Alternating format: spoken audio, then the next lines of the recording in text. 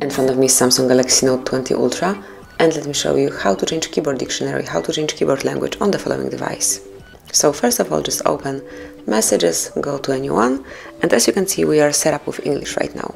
If you would like to change it, just tap on the settings icon, select languages and types, click on manage languages and now just pick the language that you want to apply in your device. So let me choose for example this one, Tibetan.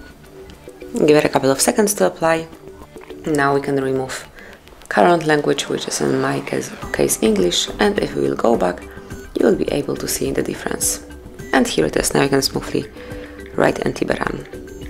So that would be all, this is it, this is how you can change keyboard dictionary, keyboard language. Thank you for watching, please subscribe our channel and leave the thumbs up.